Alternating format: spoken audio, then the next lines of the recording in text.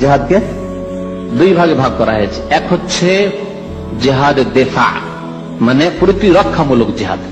প্রতিরক্ষামূলক জেহাদ। প্রতিরক্ষামূলক জেহাদ কখন হবে? যখন দেখছেন যে আপনার ওপর, আপনার পরিবারের ওপর, আপনার সমাজের ওপর, আপনার দেশের ওপর কোন আল্লাহর শত্রু কি করেছে? আক্রমণ করেছে। তখন প্রতিরক্ষামূলক আপনি উত্তর দেবেন না, মারি খাইতে থাকবেন। হ্যাঁ? না বলবেন যে এই গালে মেরেছো এই গালটা বাকি আছে মারো। এই পকেটের টাকাটি তো নিয়ে এনেছো তো এই পকেটে আরও কিছু টাকা আছে নিয়ে যাও। মানি ব্যাগ এখানে আছে নিয়ে যাও। বলবেন? আমার পকেটে যে টাকা পয়সা আছে তা তো নিয়ে গেছো কিন্তু আমার যে বাড়িতে আরও টাকা পয়সা ধন দৌলত আছে সেটি নিয়ে যাও। বলবেন? না জেহাদ করবেন। এই জেহাদের ক্ষেত্রে রাষ্ট্র নেতার অনুমতির প্রয়োজন নেই। প্রতিরক্ষামূলক জেহাদের ক্ষেত্রে। আপনার উপর আপনার পরিবারের উপর আপনার বাড়ির উপর আক্রমণ হয়েছে। আর লুটপাট করছে, খুন করছে জুল অত্যাচার করছে, সুতরাং আপনার উপর এখন ফার্জে আইন কি? প্রতিরক্ষামূলক জেহাদ করতে হবে। এই ক্ষেত্রে আপনার উপর আর কেউ মালিক নেই যে তার পারমিশন নিতে হবে। প্রত্যেককে সেই ক্ষেত্রে তখন প্রতিরক্ষামূলক জেহাদ করতে হবে। নারী, পুরুষ, শিশু, যে যা পারবে যে যা দিয়ে পারবে যথাসাধ্য। এ হচ্ছে জেহাদে দেফা। এক শ্রেণির দুর্বল ইমানের আর কাফেরদের হুঙ্কারে ভয়ে ভীত মুসলিম এবং মুসলিম চিন্তাবিদ তারা নিজেদেরকে চিন্তাবিদ বলে থাকে। কিন্তু তারা কাফেরদের হুঙ্কার এত ভয়ে ভীত যে তারা জেহাদকে শুধু প্রতিরক্ষায় সীমিত করেছে। তারা বলছে, ইসলামে যে জেহাদ আছে না, ওটা হচ্ছে প্রতিরক্ষামূলক। আর যদি ইসলাম প্রতিষ্ঠার জন্য জেহাদ করতে হয়, তো গণতান্ত্রিক পদ্ধতিতে তারাও যাচ্ছে এগিয়ে, আমরাও এগিয়ে যাব। তারা যদি এত সংখ্যা গরিষ্ঠ হয়ে যেতে পারে, তো আমরা কেন হতে পারব না? সুতরাং আমরা ইলেকশনের মাধ্যমে গিয়ে আমরা জেহাদ করব। এরা এমন ইসলামিক চিন্তাবিদ যাদের ইসলাম ক্ষণিকে ক্ষণিকে পাল্টায়।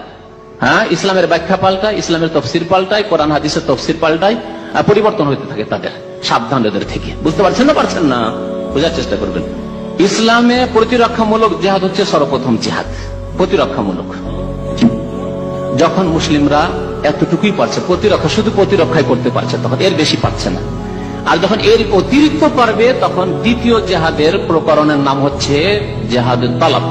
খোঁজ করতে হবে যে কোথায় জেহাদের সুযোগ আছে। আক্রমণ করার জন্য আমার ওপর, আপনার ওপর আসেনি, আপনার বাড়ির ওপর আসেনি, আপনার দেশের ওপর আসেনি। কিন্তু খোঁজ করতে হবে কোথায় আল্লাহর শত্রু রয়েছে। যারা ইমান নিয়ে আসছে না, তাদের কাছে ইসলামের দাওয়াত দিলে কবুল করছে না। বরং কেউ যদি সেখানকার কবুল করতে চায়, তাদের উপর জুল অত্যাচার করছে। তাহলে এই ক্ষেত্রে কি করতে হবে? জেহাদের তলাব মনে রাখবেন। একটা হচ্ছে জেহাদের দেখা প্রতিরক্ষামূলক, হয়ে গেল প্রথমটি। আর দ্বিতীয় হচ্ছে যে সন্ধান খোঁজ করতে হবে যে কোথায় আল্লাহর শত্রু আছে। তাদেরকে ইসলামের দাওয়াত দিয়ে যদি অস্বীকার করে দেয় এবং ইসলাম প্রচার প্রসারে ইসলামের রাস্তায় যদি হ্যাঁ কাঁটা ফেলতে থাকে, আর বলে যে না, আগে বাড়তে দেব না, তাহলে তাদের বিরুদ্ধে হচ্ছে সন্ধানমূলক জেহাদ, সন্ধান করতে, খোঁজ করতে হবে তাদের।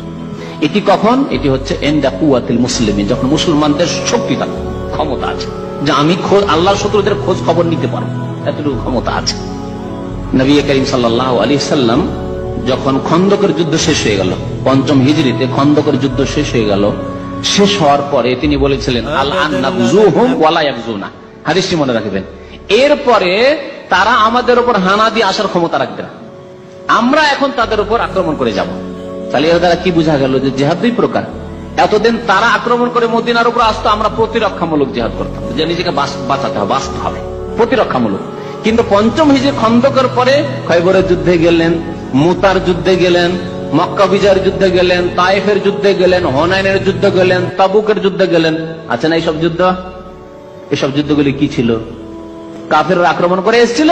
না নবী করিম সাহাবাহামদেরকে নিয়ে তাদের খোঁজ নেওয়ার জন্য গেছিল? যে ইসলাম কেন গ্রহণ করছে না? আল্লাহর সত্য দিন, আল্লাহর জমিনে কেন তারা প্রতিষ্ঠা করছে না? তাদের খোঁজ নাও। এবং তাদের বংশধর থেকে তাদের এলাকার যদি কোনো মুসলিম হয়ে যায় তার উপর কেন নির্যাতন হচ্ছে? তার রাস্তায় কেন বাধা সৃষ্টি করা হচ্ছে? এটা শক্তি সঞ্চিত হওয়ার পরে ক্ষমতা থাকলে। বর্তমান যুগ, মুসলিমদের অসহায়তার যুগ।